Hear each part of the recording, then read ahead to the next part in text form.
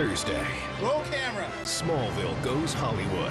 All that for one star. Clark, Rachel Davenport is not just a star, she's practically her own constellation. Action! But when fantasy and reality collide, Cut. What the hell? Is this supposed to happen? Somebody help me! Clark gets caught in the spotlight.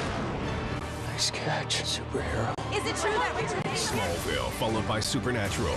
All new episodes this Thursday starting at 8, 7 central on the CW.